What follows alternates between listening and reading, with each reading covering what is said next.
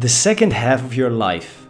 The second half of your life is inspired by the book Managing Oneself by Peter Drucker.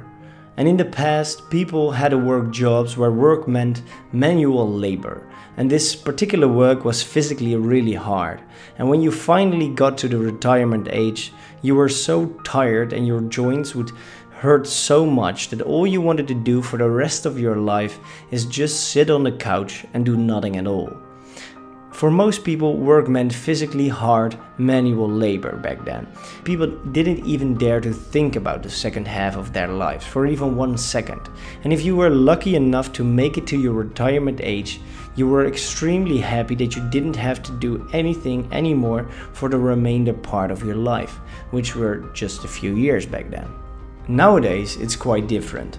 Now, when you retire, you are facing a couple of decades of pure loneliness, in which you can literally be bored to death. Back in the day, those last few years weren't that boring at all because it was only a few years until you would die.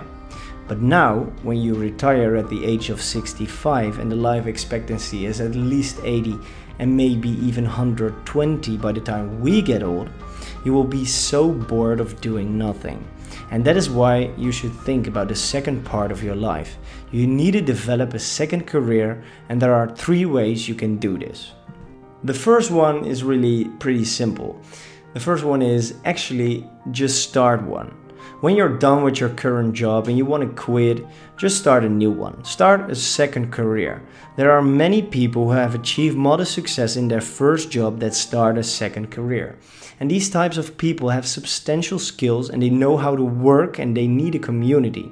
And the house is empty because the children are gone and building their own lives is pretty much where they live for.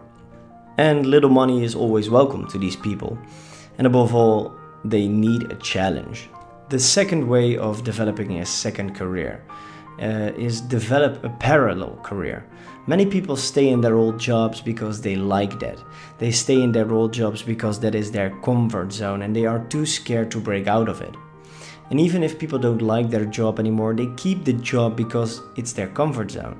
And keeping a job is a decision, and quitting your job is also a decision. So, what your job is really is make the right decision, make the right one. Don't be scared to break out of your comfort zone. Be scared of staying in your comfort zone. You need to be scared of staying there.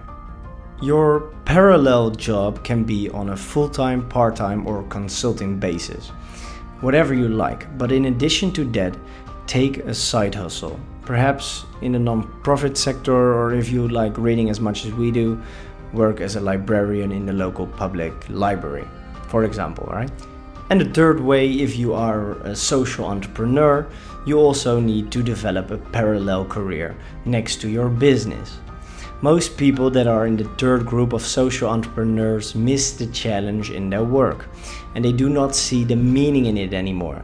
They do not see the light at the end of the tunnel.